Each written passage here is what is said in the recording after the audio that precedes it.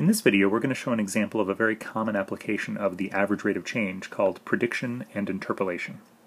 So let's look at this example. In 2002, 35.9% of tax returns were filed electronically, and in 2008 it was 59.8%. And so the first question asks us for the average rate of change from 2002 to 2008.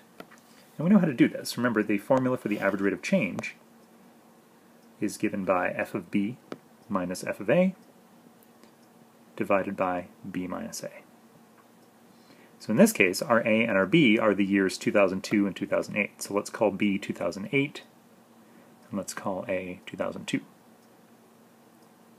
So f of 2008 is what percent of tax returns were filed electronically in 2008.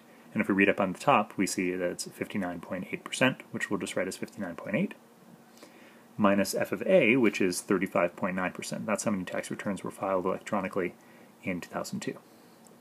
So we end up with 59.8 minus 35.9 divided by 2008 minus 2002. So on the top, that works out to be 23.9, and then at the bottom, 2008 minus 2002, that's 6. And on our calculators, dividing 23.9 by 6 works out to be around 3.98. And again, given the story and the problem here, the units would be percent per year. The top of our fraction represents percentages, and the bottom represents years, so the units are going to be percent per year. So we're going to have to remember that number going forward to answer the, the next parts. So in part B here, we want to predict what percentage of tax returns will be e-filed in 2015. And to answer this question, we need to understand what the average rate of change that we just figured out represents. What it tells us what it tells us is that every year the percentage of tax returns that are filed electronically is going up by 3.9%. So that means that every year we can expect that the percentage should go up by that amount. So we know that in 2008 that percentage was 59.8%. So by the time we get to 2015, this is just an approximation, but we think that this should approximately be equal to that 59.8 plus 3.98 a bunch of times. Every year from 2008 to 2015, the percentage should go up by 3.98. So that means that since there are seven years between 2008 and 2015, we think that this should go up by 3.98 times 7. So it should go up 3.98 seven times. And that 7 comes from taking 2015 minus 2008 to find out how many years there were in between. And when we work all that out on our calculators, that works out to be 87.66%. And that's our prediction. Now let's look at an interpolation problem.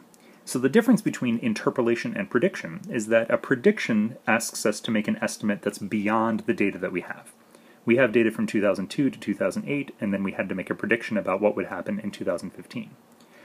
This is an interpolation because we want to find an estimate that's in between the data that we have. So we want to estimate how many returns were e-filed in 2006. Since 2006 is in between 2002 and 2008, we give it a different name. We call it interpolation. But the solution method is going to be pretty much the same. Remember, we've got that average rate of change of 3.98% per year, and we're going to solve this pretty much the same way.